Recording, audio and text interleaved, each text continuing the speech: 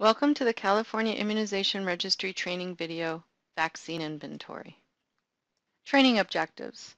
This course is designed to introduce you to the inventory function and CAIR. After completing this course, you should be able to do the following. Add, view, and update vaccine inventory, view and update inventory alerts, and view and print inventory transactions. Power users of CAIR have the ability to set up the CAIR inventory module for their organization. The inventory management function of CAIR is used to view, add, or update any vaccine your organization has on hand. This function is designed to be a complete tracking system for a provider's inventory. The inventory management function is accessed by clicking on the Manage Inventory link on the menu panel. From the Manage Inventory screen, click Show Inventory.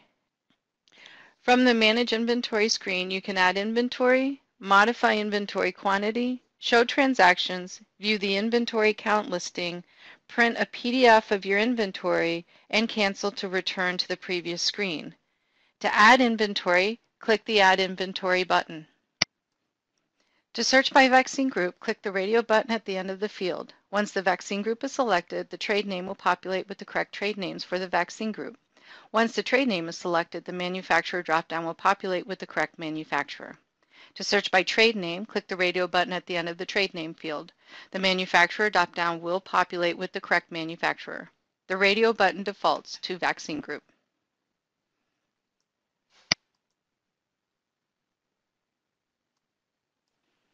NDC stands for National Drug Code. It is displayed in the CAIR inventory screens. Packaging refers to the type and quantity of doses in each package. For example, 1 times 10 vials means a 10 pack of single-dose vials.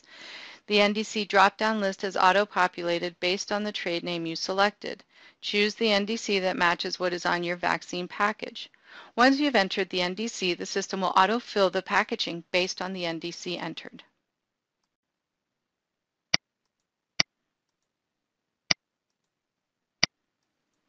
Enter the lot number of the vaccine in the lot number text box. Choose the dose size from the dose size drop-down list. Enter the vaccine lot's expiration date. Fill in the field using the month, date, year format, or use the pop-up to calendar icon to select a date. From the drop-down list, select the funding source. You can choose VFC, 317, State General Fund, or private. The lot active drop-down list defaults to yes. When adding new inventory, the lot may only be entered as active. This controls whether the lot shows up on the drop-down list when adding immunizations to patient records. Enter the number of vaccine doses received in the quantity on hand text box. Enter the cost per dose of the vaccine in the cost per dose field if desired. When you have completed the screen, click the Save button. If the new vaccine was saved successfully, the message Inventory was inserted successfully displays at the bottom of the screen. The Modify Quantity on Hand fields display after saving in case the quantity entered originally needs to be adjusted. In this example, we received 40 doses but typed in 50 by mistake. This can be corrected on this screen. Reduce the total by 10 doses by selecting Subtract from the Action drop-down box and indicating 10 in the Amount text field.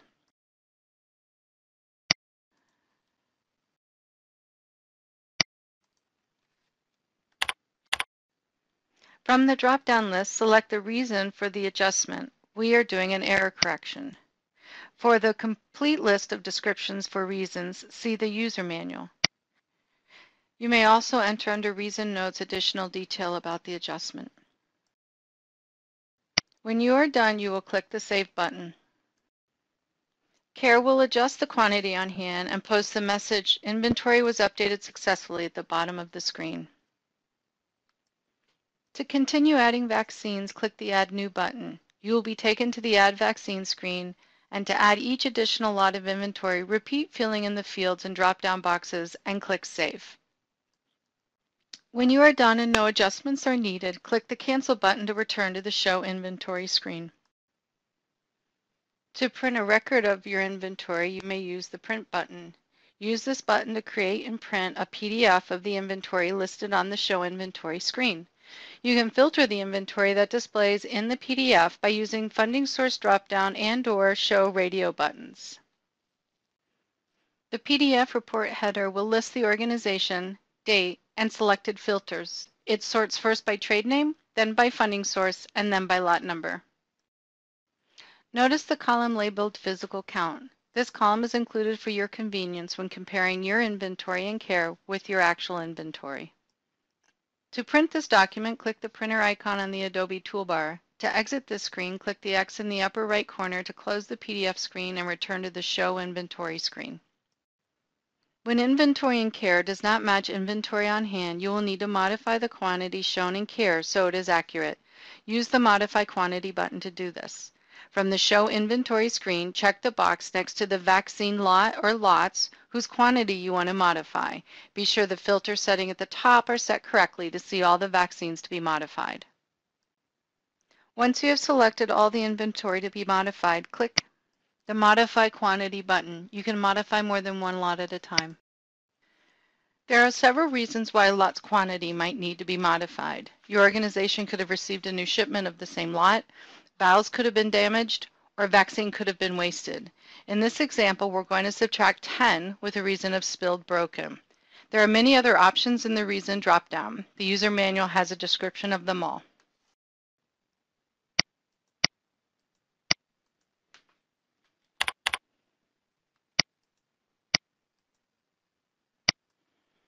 As you can see, the COMVAX lot has been decreased from 40 doses on hand to 30 doses currently in inventory.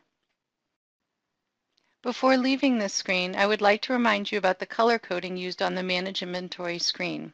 Highlighted rows of vaccine are set to expire soon. When the information for any vaccine appears in red, it means the vaccine is no longer active. To return to the Manage Inventory screen, click Cancel. From the Manage Inventory screen, you can set up inventory alert preferences for your organization. Inventory alerts show on the organization's homepage and the Manage Inventory screen. Click the Update Alert Preferences button to set up your preferences. The first alert is inventory expiration. It populates the section called Active Inventory that is going to expire or expired lots with a quantity. To set the alert, enter the number of days prior to the expiration date you would like to be notified. Default is 30 days notice. To enter a low-level alert for all vaccine groups or trade names, select whether you wish to update the alerts by trade name or vaccine group in the Update Low-Level Alerts Default section. Then enter the number of doses at which CAIR will indicate the inventory is running low. The default value is 5 doses.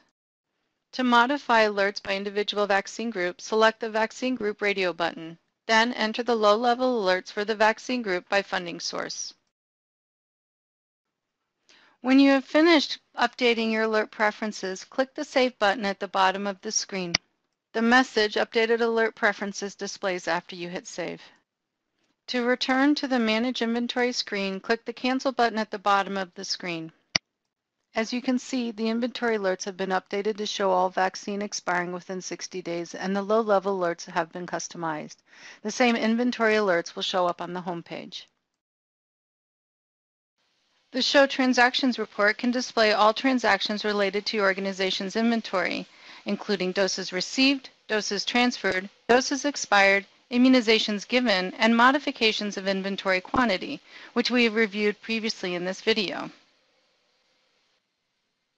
Fill in the fields to generate an on-screen report of vaccine transactions. Complete as many drop-downs as appropriate. If you simply fill in a date range in the date entered section and leave everything else as default to all, you will see a report of all inventory transactions for that time frame. To see transactions for one date, enter the same date in both date range boxes. It is best to use date entered when creating this report because that is the date that will display on this report results.